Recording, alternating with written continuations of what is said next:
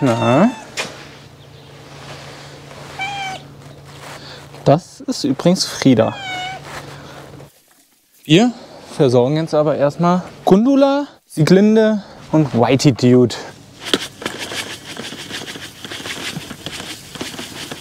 Ja, die scheinen auch gar nicht so einen Hunger zu haben. War zwar leer, aber weiß ich nicht, alle zwei, drei Tage kippe ich immer was hin. Aber in diesem Gehege kriegen sie auch genug anderes. Also, damit herzlich willkommen zum neuen Video. Ähm, das hier ist jetzt mal wieder ein bisschen was Besonderes, weil das Video erst am Sonntag rauskommt. Heute haben wir aber Dienstagnachmittag schon. Ich werde aber am Donnerstag, da wo es eigentlich dieser Farmvlog rauskommen sollte, äh, den Amerika-Vlog raushauen und jetzt momentan, beziehungsweise das Wochenende davor war Agritechnica, da war ich komplett unterwegs. Habt wahrscheinlich auch viele von euch gesehen. Mein Plan ist jetzt erstmal Kartoffeln zu sammeln und zwar nicht irgendwie irgendwas, nein, Carsten hat ja schon angefangen. Mach mal Licht an. Das hier sind 220 Knollen, jeweils von einer Sorte. Das hier ist Rumba, das hier ist Jule und wir sammeln jetzt Lady Jane. So, und von hier hat Carsten gerade schon gesammelt, das ist die Rumba, hier haben wir die Lady Jane und hier jetzt halt kleine Kartoffeln raussuchen.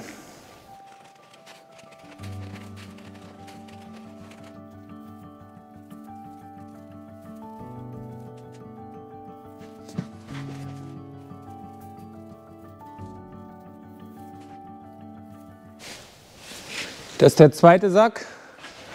Ähm, aus irgendeinem Grund haben wir nur noch 5 Kilo Säcke. Eigentlich immer 12,5 aber ist wie es ist. Wir haben jetzt kleine Säcke, deswegen sind es diesmal zwei geworden.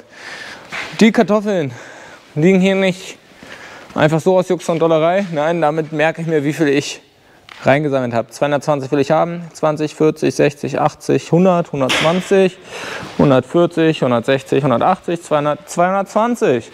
Ne, eine Kartoffel steht für 20er Stelle und ja, das war's. legen wir noch einen Zettel rein, dass das Lady Jane ist, damit wir da nicht durcheinander kommen. Und äh, ja, dann ist damit die jährliche Untersuchung auch schon wieder vorbei. Wie gesagt, Carsten hatte schon die anderen Kartoffeln gesammelt. Das ist immer ein bisschen nervig. Ja, und ansonsten ist so langsam auch eine ruhigere Phase eingetroffen hier auf dem Betrieb. Da hinten kommt mein Kater. Emil! Na? Ach nee, er hat schon wieder eine Maus. Naja, was ich sagen wollte, wir müssen noch ein bisschen was auf dem Acker machen, aber wie ihr seht, es hat die ganze Zeit geregnet. Emil, komm her. Der kommt jetzt nicht. Der will die Maus reinbringen. Ah, dieser. Nee! So, ich muss mal kurz einen Cut machen, der. Sonst haben wir gleich eine Maus in der Küche. Er überlegt noch. Naja, wetterbedingt können wir nicht allzu viel machen und ich werde jetzt nochmal Reitplatz abziehen und genau wegen diesen Pferden ist auch ständig der Frontlader dran. Jetzt kann ich es endlich mal auflösen. Ähm, ihr habt ja ständig gefragt, ob das, Ding da fest ist, warum ich das nicht mehr abmache. Und wir sind am Strohladen für Schampost und Co. Ähm, das Stroh kommt aber nicht in den Pferdestall. Nein, wir haben in der Kartoffelhalle hier auch noch eingelagert ein bisschen was und ja, Heu halt auch und das kann ich eigentlich so einmal die Woche reinsetzen. Deswegen ist der Frontlader die ganze Zeit dran. Und ja, wir sehen uns gleich auf dem Platz wieder. So, wie ihr seht, sind wir auf dem Platz. Auch schon fast fertig. Ich muss sagen, dieses Bild, das sieht so clean einfach aus. Weiß ich nicht, vielleicht macht der ganze Spaß oder der ganze Kram deswegen auch Spaß. Kleine Info noch, der Trecker, es wurde auch schon äh, gesagt, der ist doch viel zu groß hierfür der ist auch gar nicht hierfür geplant. Also ähm, das ist halt der kleinste Trecker, den wir hier haben, bis auf den 6M, der steht da vorne unterm Vordach. Der wird aber immer noch viel genutzt und deswegen ist der jetzt für den Reitplatz da. Ähm, früher oder später ist noch geplant, einen kleinen alten ja, Rentner-Trecker, so ein Oldtimer, weil der Trecker wird ja im Frühjahr auch viel auf dem Feld gebraucht zum Hacken, Striegeln und Co. Ist ja ein kleiner Vierzylinder mit Pflegebereifung. Deswegen brauchen wir hierfür einen noch kleineren für den Reitplatz. Und wir brauchen ja auch noch was zum Stall ausmisten. Da ist aber Hoftrag geplant und mit dem Hoftrag dann ist wiederum das Ziehgerät verkehrt. Apropos Ziehgerät, ich war am Anfang der klaren Einstellung, wir brauchen sowas nicht. Ist alles unnötig Geldausgeberei. Wir haben eine Wiesenschleppe, sechs Meter, damit bist du viel schneller, fährst du dreimal hoch runter, gut ist. Also ich habe ja gesagt, ich reite nicht. Ich habe auch äh, ja, ein gewisses Grundwissen, aber dann war es das auch schon. Also eine Wiesenschleppe auf diesem Reitsand ist das ja extra. Äh, macht keinen Sinn, weil die keine Rückverfestigung hat. Hier in diesen Clips, die ich jetzt gerade überlege, könnt ihr sehen, dass hinten dieses schräg geformte Blech fungiert wie eine Walze. Also wir lockern den Boden so ein bisschen und drücken den dann richtig schön fest. Die Wiesenschleppe hat einfach nur die Löcher ja, mit der mitgezogenen Erde zugedeckt. Aber da war dann keine Dichte drin. Das heißt, das Loch war mit lockerer, loser Erde einfach nur ein bisschen zugedeckt. Und sobald wieder jemand reintritt, also ein Pferd, ist es wieder tief. Dazu kommt noch, dass die Kapillarität nicht gegeben ist. Du beregnest den Platz, aber es läuft extrem durch. Ne? Wir haben ja sowieso Sandböden, das heißt, das Wasser bleibt hier sowieso nicht wirklich drauf stehen. Und wenn der Platz dann noch nicht richtig gezogen ist, dann hält sich das Wasser 0,0 hier drauf. Deswegen dieser Reitplatzplaner, der ist jetzt 2,40 Meter. Ja, das Geld hat sich tatsächlich gelohnt hierfür. So, Erwin ist da gerade hinten, sogar an der Wiesenschleppe im Gange. Gerade eben noch drüber geredet. Da sehen wir sie schon. Die wird auch eingewintert, ist ja logisch. Winter, äh, Wiesenschleppen ist im Frühjahr dran. Jetzt ist mir gerade noch eingefallen, ich wollte noch eine Kiste Agria hier in den Sturzbunker kippen. Es kommt nämlich noch einer von der Erzeugergemeinschaft und wir wollen uns unsere Agria einmal angucken. Ja, einmal eine Kiste rein, durchsortieren. Ist aber die Frage, ob der heute noch kommt oder morgen. Aber ich schmeiß die Kiste schon mal rein.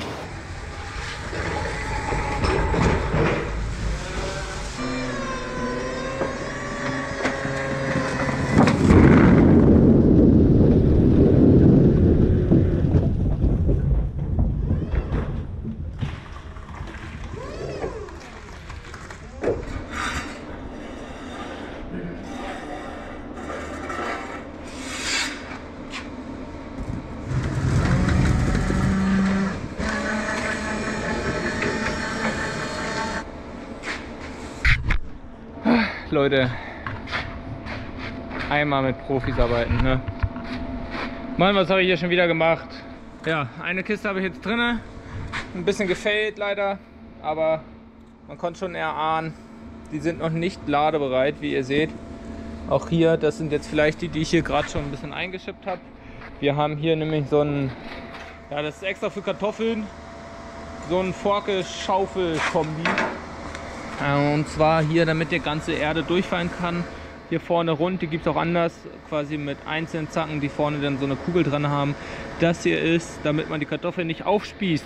Damit, wenn du in den Haufen Kartoffeln reinhaust, äh, ja, die möglichst nicht beschädigst. Nur so kleine Info für die, die es nicht kannten. Und ansonsten wollen wir gucken, ob die Kartoffeln schalenfest sind. Das kann man hier schon mal vorweg prüfen, indem man so mit der Hand rüber geht. Hier sehen wir, die Schale löst sich noch ein bisschen. Und daran erkennen wir, dass wir die Partie noch nicht verladen können. Weil wenn wir das jetzt alles auf einen Anhänger bzw. auf einen LKW kippen, der das ablädt und Co. sind Rubbelstellen, da würde sich die Pelle abpellen und ähm, ja, ist halt die natürliche Schutzform der Kartoffel weg. Die letzten Kartoffeln sammeln wir jetzt noch ein. Ich habe einmal den Sturzbunker angemacht, die Kartoffeln ein bisschen nach oben gefördert. Ich habe halt auch vergessen hier dieses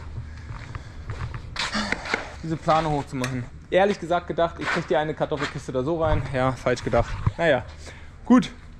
Ähm, wie ich schon meinte, ich gehe eher davon aus, dass wir das Ding morgen durchsortieren. Morgen werde ich auch zu unserem Schweinefreund des Vertrauens fahren. Da werde ich euch wieder auffangen. Deswegen sehen wir uns morgen. Moin! Nächster Tag. Wir haben Mittwoch. Carsten lädt gerade Saatgut ab. Und ich habe mir den Frontlader geschnappt. Ich musste erstmal Zugmauer ranmachen. Das gute Stück war da hinten noch nicht dran. Ne? Und wir wollen uns jetzt den Zug anhängen. Haben wir ja gestern einmal raufgeguckt. Da ist der trockene Mais drauf. Für den Schweinebauer.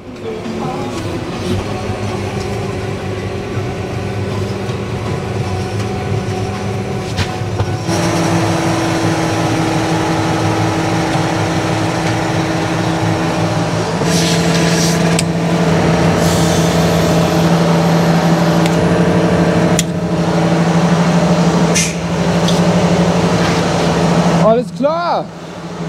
Nehmen wir hinten noch den Holzblock weg. Regen ist keiner angesagt, deswegen lasse ich das jetzt einfach mal offen. Also den Wagen, dann mache ich nicht zu.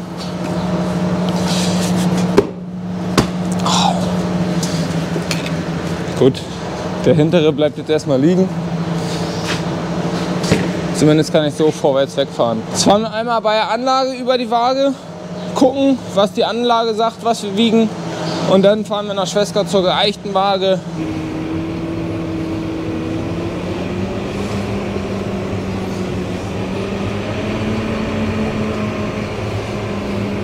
So, wir machen mal eine kleine extra Runde um die Halle. Ich glaube, links rum raus wäre ein bisschen zu eng geworden.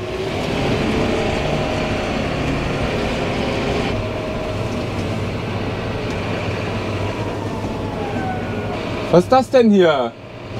Was stellt er sich einfach vor die Waage? So, das hier ist die Überfahrwaage, die Metallplatte vor mir. Hier fahre ich jetzt mit ungefähr 4 km/h rüber. Da drüben habe ich eine Anzeige, die misst jede einzelne Achse. Und äh, zu langsam darf ich wohl auch nicht fahren, weil dann äh, kommt die Waage nicht mit der Zeit zurecht, die zwischen den einzelnen Achsen liegt. Aber 4 km/h soll ein gutes Tempo sein. Also wenn ich mir das hier so angucke, fällt mir auf, nicht nur Nemitz ist schön, im Osten gibt es auch schöne Dörfer. Das macht dann die halt, äh, das macht dann halt die Allee, ne? Schön im Herbst, gelbe Blätter, sieht gut aus. Dazu gute Musik. Blonde Child, illegaler Rave. Kaltes Kyle, dreckig ist der Taste. Blonde Child, illegal. So, wir müssen aber mit äh, Monetarisierung aufpassen, deswegen fahren jetzt erstmal, der Betrieb ist gleich da vorne, wir sind gleich da, wir müssen ähm, den zweiten Anhänger abklemmen, weil sonst ist es zu eng in der Halle. Die habt ihr schon mal gesehen, vielleicht zeige ich euch auch die nochmal.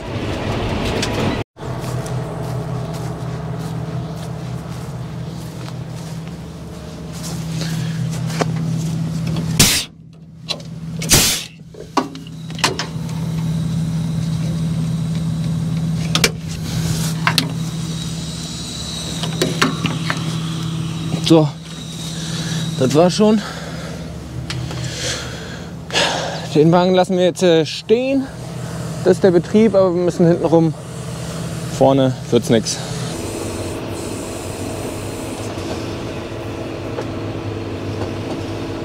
Gut, das passt hier alles.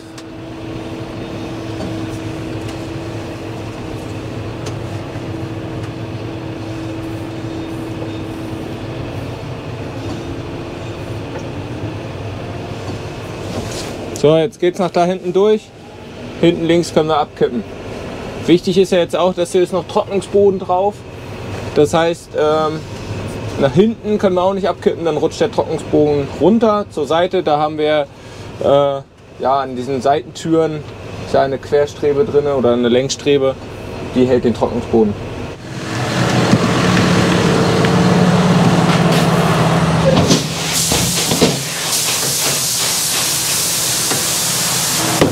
Hydraulikschlauch muss ja noch sein.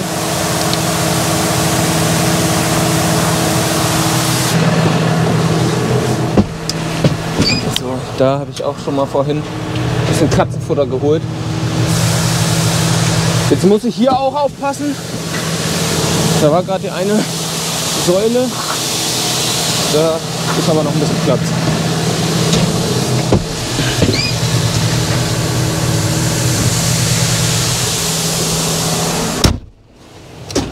Stoppt ganz schön. So, erster Wagen ist abgekippt. Ich mache jetzt Klappen schnell zu. Dann hole ich den zweiten Wagen, da fahren wir vorne auf den Hof rauf und dann ähm, geht's wieder nach Hause, leer wiegen. Dankeschön. Ciao. So, da wartet schon der nächste. Stehen hier auf der Waage. Jetzt geht's wieder nach Hause. Und kann mir mal einer erklären, warum der Trecker immer piept? Ihr seht, Licht ist. Ja, und so schnell ist es dunkel draußen. Ich war gerade dabei, euch zu fragen, warum. Ich dachte, jetzt fängt er an zu piepen. Mensch, eigentlich hat er hier so eine scheiß Krankheit, dass er immer piept und ich verstehe nicht warum. Ähm, Licht alles aus gewesen, äh, Arbeitsscheinwerfer, Blinker, Tagverlicht, alles aus und trotzdem piept der Trecker immer so fünf, sechs Sekunden, wenn man ihn an- oder ausmacht. Äh, da wollte ich fragen, ob ihr für mich einen Rat habt, warum das so ist. So, ansonsten haben Carsten und Erwin noch weiter Maschinen sauber gemacht. Wir wollten heute eigentlich anfangen zu dreschen. Ähm, nichts draus geworden, leider. Der Lohner ist äh, nicht gekommen. Dementsprechend geht das morgen los. Für mich persönlich sehr ärgerlich, weil ab morgen bin ich ja unterwegs mit äh, Akkukontakte wieder mit der Campervan-Tour für die Agritechniker rundherum. Und ja, das ist eine ganze Woche, diesmal noch ein bisschen ein paar Tage länger. Jetzt hatte ich gehofft, dass wir in der Zeit möglichst wenig dreschen und auch wieder nur mit Umladen beschäftigt sind, weil das geht ja schnell. Ja, leider nicht so geworden. Jetzt geht es morgen los mit dem Dreschen oder weiter mit dem Dreschen. Ich bin ab morgen Mittag gar nicht da. Äh, ja, doof gelaufen. Genauso mit den Kartoffeln hier. Die hatte ich ja gestern reingekippt. Meinte, entweder wollen wir es gestern oder heute machen. Ähm, kam auch keiner. Konnten wir nicht anfangen durchzulaufen. Zeit hätten wir. Ja, so ist der Plan. Haut halt meistens nicht hin. Wir gehen jetzt noch mal schnell Wasser machen am Reitplatz. Dazu habe ich hier so eine geile Kopftaschenlampe, weil ich glaube, also da vorne ist das. Warte mal, jetzt habe ich es falsch gemacht. So. Ja, ihr seht gar nichts. Äh, also da vorne ist die Pumpe, die will ich verstellen und ja, Kopftaschenlampe ist ganz wichtig, weil man beide Hände braucht. So ein bisschen was erkennt ihr ja, wenn ich genau raufhalte. Und das ist nämlich das Nervige, weil wir diesen ganzen Bereich noch nicht befestigt haben. Hier soll ja eigentlich ein Pumpenhaus hin und dann kann ein Verteilerstück angeschlossen werden. Bis dato müssen wir es so machen, dass ich diese Verbindung löse. Ich muss aufpassen, ich halte gerade die Kamera zwischen meinen Beinen, damit ihr auch alles drauf habt.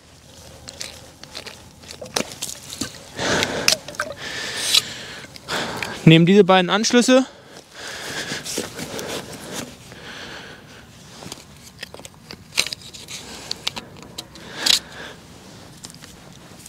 Ach, komm her hier. So, das war es dann schon. Den gelben stecken wir da wieder rauf. Der Dreck an den Gewinde macht jetzt, denke ich mal, nichts. So.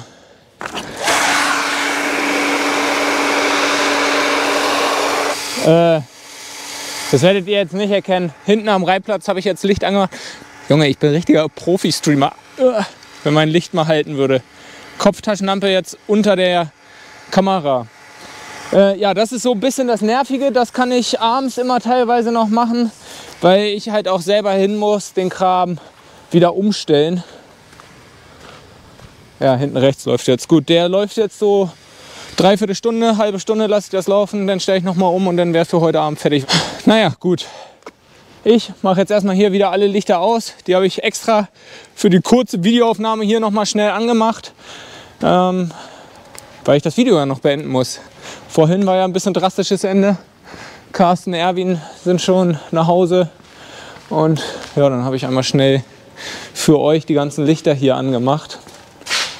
Und genau, bevor ich jetzt ausmache, bevor ihr mich nicht mehr seht, beende ich das Video hier. Ähm, ist wieder ein bisschen kürzerer Vlog. Momentan ist ja mit den Vlogs ein bisschen schwierig, die dazwischen zu kriegen, weil ich relativ viel unterwegs bin. Und es beginnt die ruhige Phase auf dem Betrieb. Also ich weiß auch noch nicht genau, wie ich es den Winter über mache. Also wahrscheinlich nur ein Video die Woche, aber das wird sich alles noch zeigen. Ihr werdet sehen, wenn ihr mich abonniert habt und meine Videos guckt. Ich würde sagen, danke fürs Zuschauen. Danke, dass ihr bis hierhin zugeschaut habt. Wir sehen uns im nächsten Video wieder, wenn es wieder heißt. Leute, einmal mit Profis arbeiten. Ne?